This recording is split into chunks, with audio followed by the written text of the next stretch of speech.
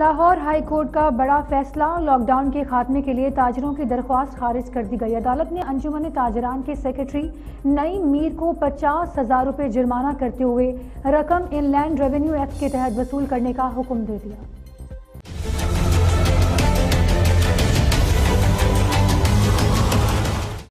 High court ने अंजुमन ताजरान के मरकजी सेक्रेटरी जनरल नईम मीर की दरख्वास्त पर समात की। चीफ जस्टिस कासिम खान ने रिमार्क्स दिए कि लॉकडाउन बरकरार रखना है या खत्म करना यह हुकूमती पॉलिसी है। सस्ती शहरत के लिए अदालतों में दरख्वास्तें दायर की जाती हैं, गैर ज़रूरी और सस्ती शहरत के लिए दरख्वास्तें दायर करने वालों से कोई रायत नहीं होगी। अदालती वक्त जाया करने की इजाज़त किसी को नहीं देंगे। कोरोना के बाईस हज़ारों लोगों की जिंदगियाँ खत्म हो गई तो तब समझ आएगी वायरस से पूरी दुनिया दरहम बरहम हो चुकी है।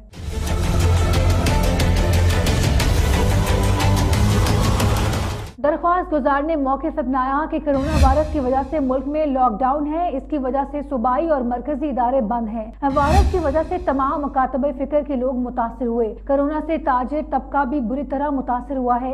वजी अजम रिलीफ फंड की वजह से गरीब तबके के लोगों को फ़ी कस बारह हज़ार दिया जा रहा है। रिलीफ फंड में मुतासर होने वाले ताजरों को महरूम रखा गया। अदालत से इस्तः है की वजी अजम रिलीफ फंड की रकम ताजरों को भी देने का हुक्म दिया जाए।